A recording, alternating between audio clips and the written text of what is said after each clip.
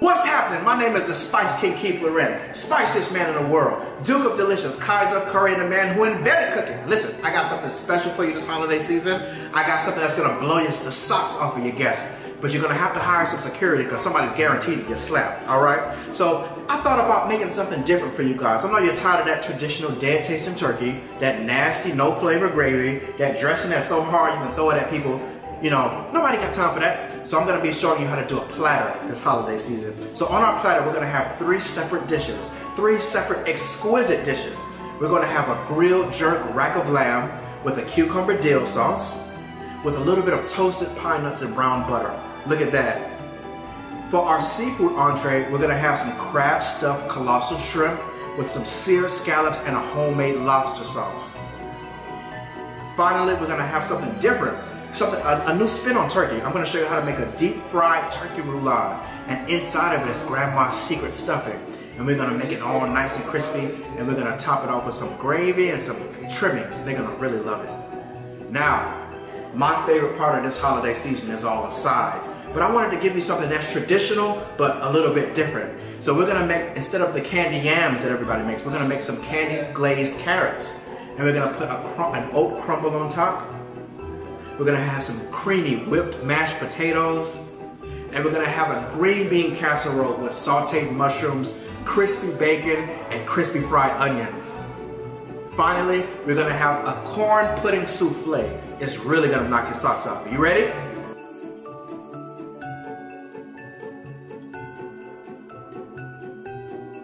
Now it's time for our next side, which is a creamy cornbread souffle. It's gonna be exquisite. Every time we make it this time of year, it's always the crowd favorite, and I'm sure it's gonna be that way for your house too. So let me show you all that we have here for you. All right, so this dish is super simple, but I guarantee you it's gonna be a crowd favorite, and look how easy it is. So we're gonna start off with, with two cans of cream corn, two cans of whole kernel corn, two boxes of your favorite corn muffin mix. We're gonna use a little bit of sugar, a little bit of sour cream, butter, and I'm gonna show you how to throw it all together. So the first thing we're gonna do is we're gonna take our pan here and we're gonna use just a little bit of butter just to grease it because we don't want it to stick. And uh, you know, get every nook and cranny and it's gonna be great. There we go. So now that that's buttered, we can take our two sticks of butter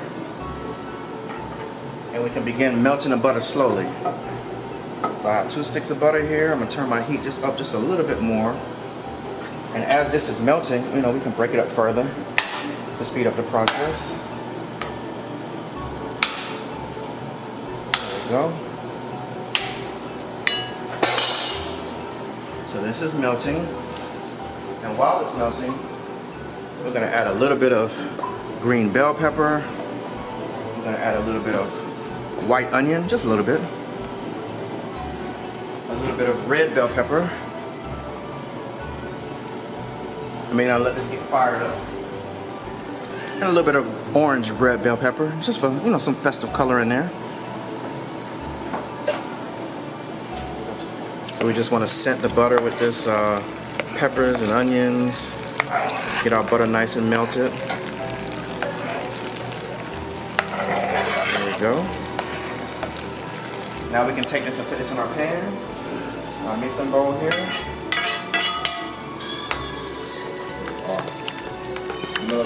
Next we're going to take a little bit of cracked black pepper.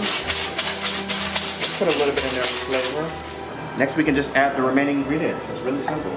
So I'm adding a can of whole corn, undrained. We're going to do two cans of that. There we go. And if in case you're wondering, you know, well, why am I making cornbread? Because this tastes so much better than cornbread. I mean, it's really one of our favorite dishes every year. Next, we're to add two cans of sweet corn cream style corn. There we go. Now we're going to add two eggs.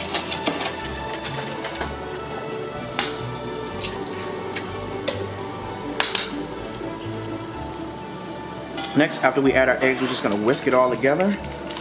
like this. Oh, that just looks beautiful already, right? I promise you this is gonna be one of your family's favorite sides this season. It's so buttery, it's so creamy, it's so luscious. Everybody loves coming to my house to get this. And shout outs to my grandma for teaching me how to cook so well. I wish she was still here, but she's not. But hey, she lives on through our cooking, right? Finally, we're gonna add two boxes of our favorite cornbread mix. One, one and two. And the beauty about this is it doesn't have to be perfectly mixed. You just, you know, stir it like this with your whisk. And it's gonna bake up so perfectly. Now, if you wanted to do something different, you could brown up some sausage, you know, some some nice sage sausage or something and put this in put it in here. Or some crispy bacon. Or you could even add crab and it'll be a nice touch. Any kind of seafood, it'll be a nice touch. You know, you can make it your own, but this is this is the base. I wanted to show you the basics.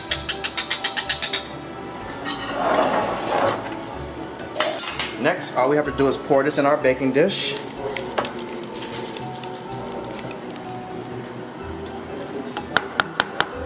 All right, so now all we have to do is clean it up to make it look nice. So I'm taking my cornbread casserole and I'm taking my napkin around it and I'm just cleaning off the edges.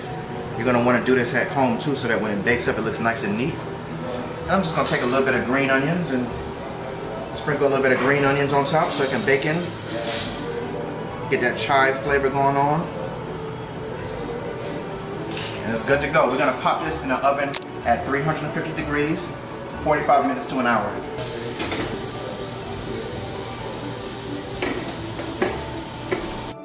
So now we're gonna check on our corn casserole. It looks like it's done. Wow, look at that. It's perfect. You see how beautiful? Look at that, guys. We're gonna let this cook for about five more minutes, five to 10 more minutes, just to make sure it's extra set and it's perfect. You can see how beautiful it looks. All right?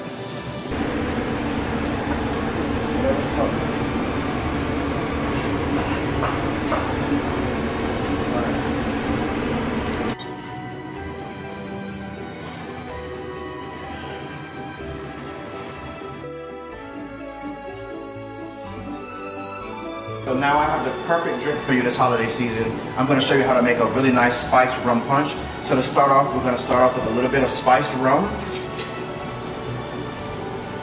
Nice little splash of spiced rum. We're going to hit it with a little bit of um, we're going to hit it with a little bit of pineapple and mango juice.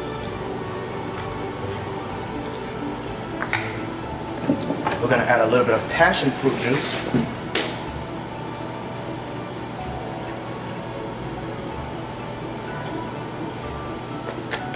We're going to add a squeeze of lime juice. A squeeze of fresh orange juice. And give it a little stir. Next, we're going to top it with a little bit of cranberry cocktail just on the top.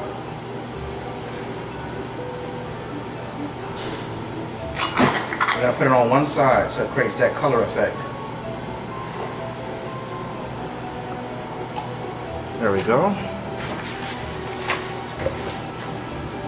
And then we're gonna hit it with a nice colorful orchid. I love purple, so we're gonna use a purple color. Hope you like purple as much as I do. And now you have a really great fall fruit punch. I hope you guys enjoy it. And it's beautiful, just like the Spice King.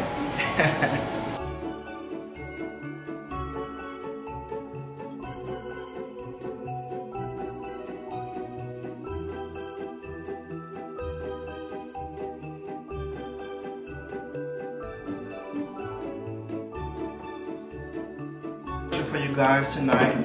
We have crab stuffed shrimp with a lobster sauce. We have a deep fried turkey roulade.